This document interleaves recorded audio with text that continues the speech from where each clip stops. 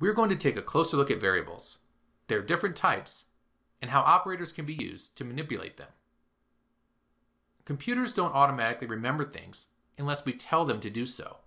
Any information that is important to your program that you want the computer to remember must be stored in something called a variable. A variable is like a named storage container for information. When you create a variable and assign it a value, the computer will remember it and you will be able to refer to it later on as needed in your program. Indeed, variables can be used to store just about anything, but most data can be categorized into what are called data types.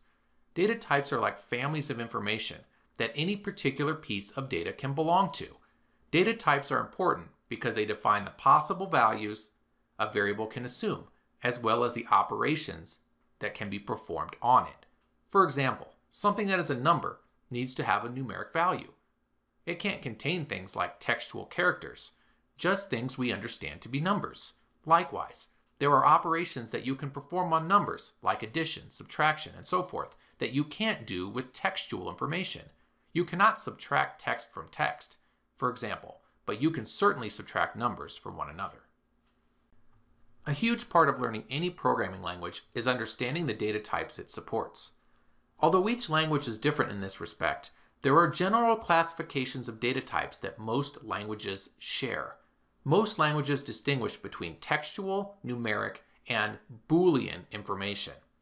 Textual information is like the information that you associate with a written work, like the Declaration of Independence, whereas numeric information is what you might associate with the mathematical operations you perform in your math classes. The last general classification, Boolean, is a special one. Boolean information describes all the binary information that surrounds us each day. In reality, a lot of information can be classified in terms of whether it is true or false. For example, you are either tall enough to ride an amusement park ride or you are not. You are either passing all your classes or you are not. Any information that can be seen as truly binary, represented as true or false, is considered to be of the Boolean type. Most programming languages also support data types that are some sort of collection. Collections are exactly what they sound like. They are groups of like, related information, like a collection of video game memorabilia, for example. By using a collection, you have the ability to assign multiple values to a single variable. Each language supports its own set of collections. For example, many languages support a type of collection known as an array. You will often hear these constructs referred to as data structures. Creating variables using microbit blocks is simple. Simply go to the variables tray and click on make a variable. From there, you can change, or in other words, set the values of your variables using the provided set and change blocks. Once you create a variable, you will find that a variable block with its name has been created in the tray.